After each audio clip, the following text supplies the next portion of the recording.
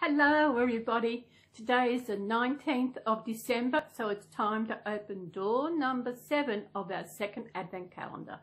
I wonder what it will be. But first, I'll introduce you to the baby today. This is Michael, and he is the Liam kit by that company, and he was created by Stephanie. He is such, he's actually a budget baby. She was creating budget babies where people could afford to buy her, her baby. He, I don't see any difference. The only difference really is that he's got no weight in him and she didn't put him in the budget baby. That's okay. I could probably do it one day when I get around to it. So we'll go on the other side and find out who's behind door number seven. Okay, so we'll see you on the other side and you'll see Garfield.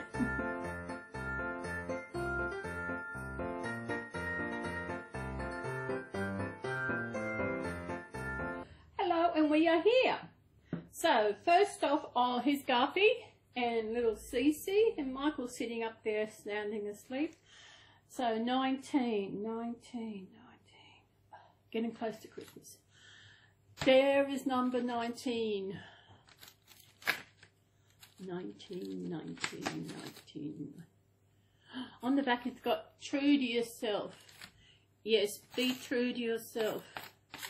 I wonder what we've got behind this today. Sometimes these are... Oh, didn't lose it. Oh! We know this jolly fella is. It is Santa.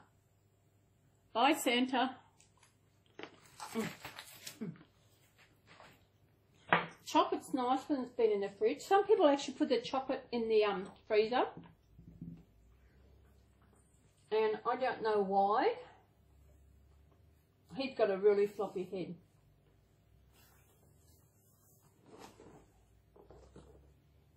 Over there in Garfield. Stitch up. There we are, that's good. So who we got now? We've got Forky. And we got Woody.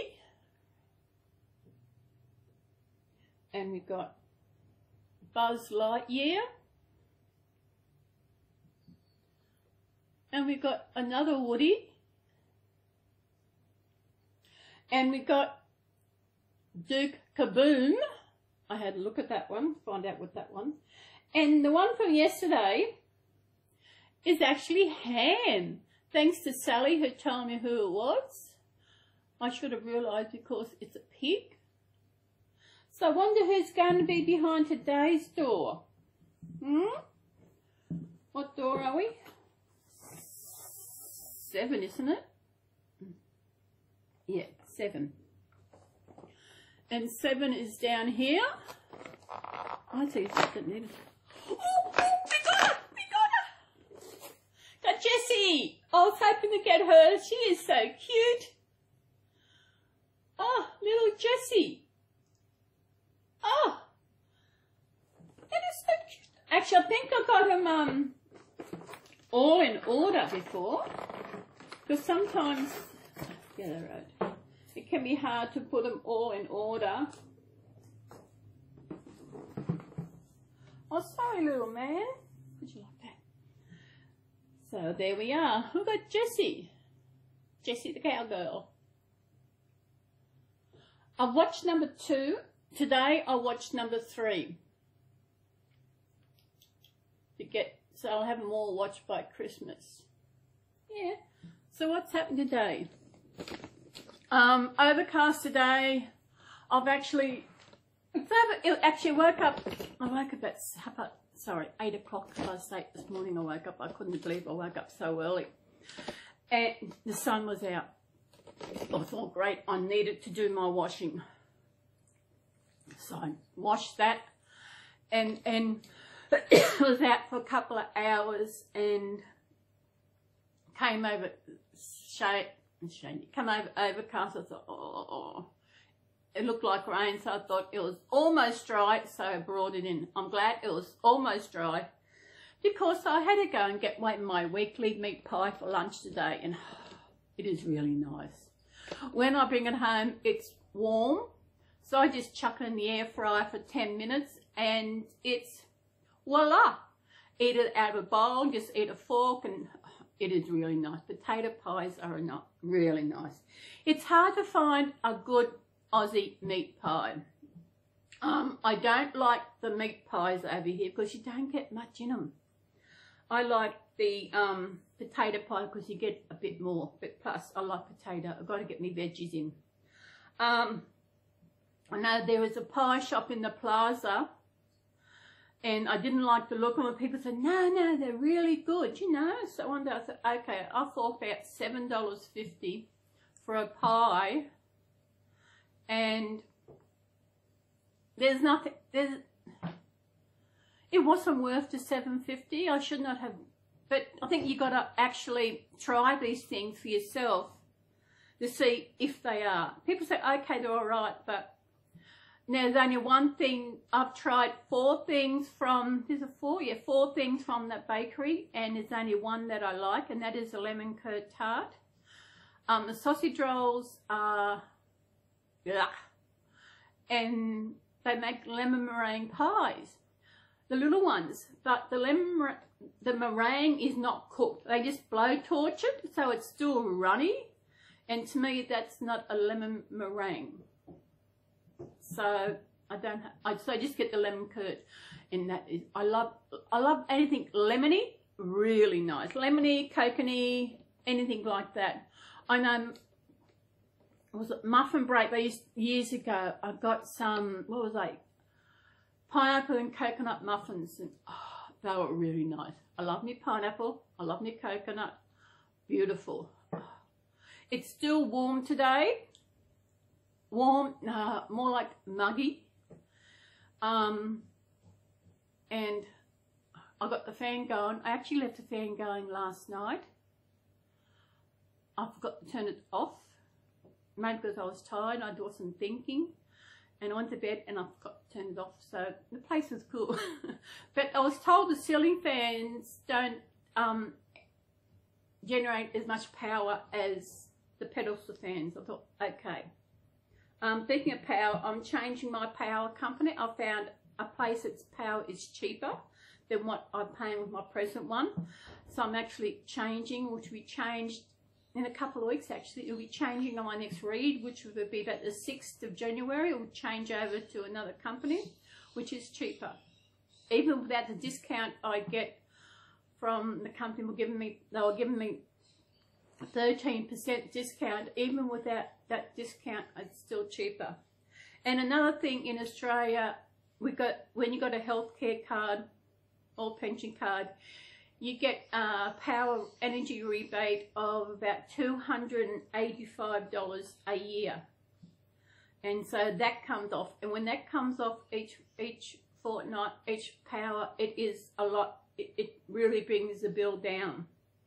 So I'll be changing over to them in a few weeks. Once it changes over, I'll have cheaper, be paying cheaper for my power. When I look at power, who's cheaper, I go by what they charge per kilowatt for my hot water and also for our for power and also to supply. Of course, you got to pay from supply to the house. I was paying a dollar fourteen a kilowatt for the other one um, the another pl the place I'm going to, I think it's about a dollar nine a kilowatt. So that saving of five cents a kilowatt is a big savings. Even the other two lots are, are big savings. So everywhere you can save, you got to save, and I'm looking forward to doing that. Um, nothing else is happening. I said it's warm.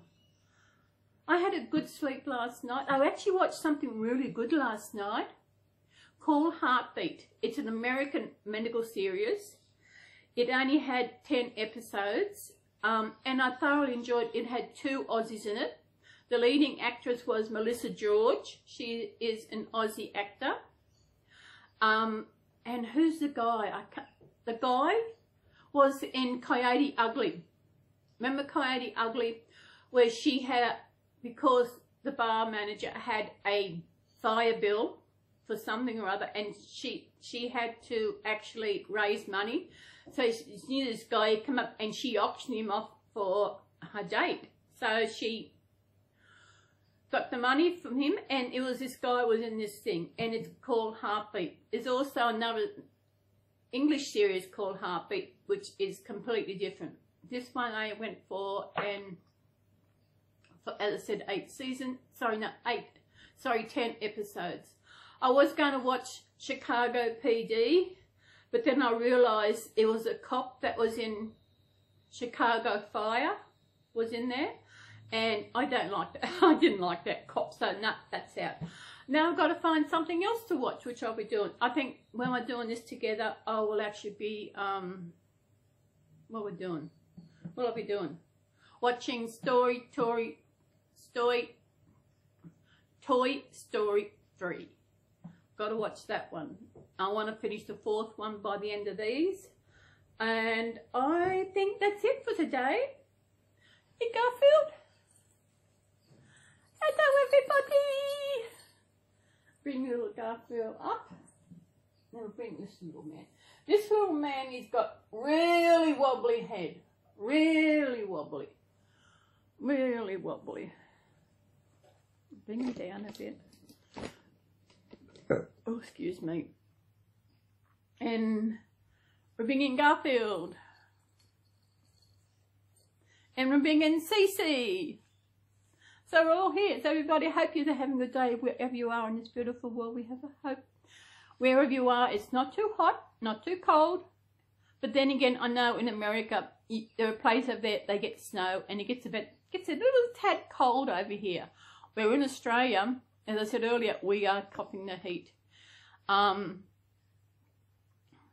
if like I said, I think it's just humid and it's really bleh. Oh, I'm going to sneeze.